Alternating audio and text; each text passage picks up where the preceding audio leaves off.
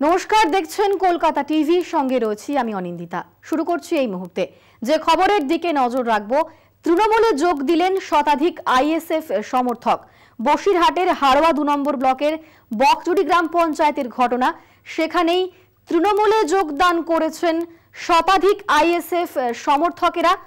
যে খবরের দিকে নজর রেখেছি আমরা, আইএসএফ নেতা সাইফুল মণ্ডলের নেতৃত্বে শতাধিক নেতাকর্মী সমর্থকেরা তৃণমূলে যোগদান করলেন। আমাদের সঙ্গে ফোনে রয়েছেন প্রতিনিধি সঞ্জিত চক্রবর্তী।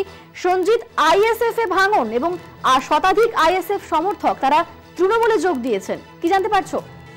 একেবারে ঠিক। দেখো, পঞ্চায়েত নির্বাচনের আগে খুব গুরুত্বপূর্ণ, অর্থাৎ এই আইএসএফ এর যে ভাঙন হারোয়ার বিশেষ করে উত্তর চব্বিশ পরগনার যে বসিরহাটের হারোয়া দু নম্বর যে ব্লক রয়েছে বকজুরি গ্রাম পঞ্চায়েতের সে পঞ্চায়েতে তারা কিন্তু আইএসএফ নেতা সাইফুল মন্ডলের নেতৃত্বে প্রায় নেতা কর্মী সমর্থক শতাধিক তারা কিন্তু মিছিল করে রীতিমতো তৃণমূলের যে বকজুরি গ্রাম পঞ্চায়েতের পাশে দলীয় কার্যালয় রয়েছে সে দলীয় কার্যালয়ে এসে তারা যোগদান করেন। তাদের হাতে যেমন দলীয় পতাকা তুলে দেন হারোয়া দু নম্বর ব্লকের যে মাদার অর্থাৎ আহ, ফরিদ জমাদার অন্যদিকে তৃণমূল যুব কংগ্রেসের সভাপতি খালেক মোল্লা তাদের হাতে দলীয় পতাকা তুলে দেন, যেটা তারা দাবি করেছেন যে বিশেষ করে যেভাবে তৃণমূল উন্ন- উন্নয়ন অর্থাৎ সব ধর্মের মানুষকে বিশেষ করে জন্ম থেকে মৃত্যু পর্যন্ত যে প্রকল্প যে প্রকল্প সুবিধা পাইয়ে দিয়েছে সব ধর্মের মানুষের জন্য, তারা এই সুবিধা দিয়েছেন। উন্নয়নের শরিক হতেই কিন্তু তারা আজকে তৃণমূলে যোগদান করলেন। পাশাপাশি তৃণমূল নেতৃত্ব দাবি করেছেন যে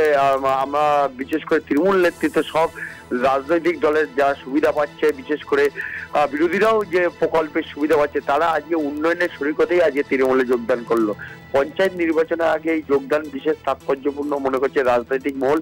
পাশাপাশি আইএস নেতা, বিশেষ করে আরও তারা কিন্তু যে বাইজিদ মোল্লা, তিনি দাবি করেছেন নেতা যারা পুরনো সিপিএম কর্মী সমর্থন নিরপেক্ষ ছিল, তারাই তৃণমূলে যোগদান করেছে, এর সঙ্গে আইএসএফ কোনো যোগ নেই।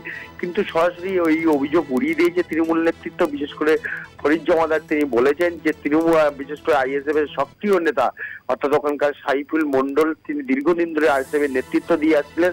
তার নেতৃত্বেই কিন্তু আজকে তৃণমূলে যোগদান করলেন তারা এবং সামনে পঞ্চায়েত নির্বাচনের আগে এটা বিশেষ তাৎপর্যপূর্ণ মনে করছে রাজনৈতিক মহল। অনিন্দিতা। বেশ, অনেক ধন্যবাদ তোমাকে আমাদের সঙ্গে ফোনে ছিলেন প্রতিনিধি সঞ্জিত চক্রবর্তী। বসিরহাটের হাড়োয়ার বকটুরি গ্রাম পঞ্চায়েতে সেখানে একশোরও বেশি আইএসএফ সমর্থক তারা তৃণমূলে যোগ দিয়েছেন। তারা বলছেন যে তৃণমূলের উন্নয়নের শরিক হতে তাদের এই যোগদান যা পঞ্চায়েত নির্বাচনের আগে অত্যন্ত গুরুত্বপূর্ণ। এই মুহূর্ত এখন এই পর্যন্তই। দেখছেন কলকাতা টিভি, রাত দিন, সাত দিন।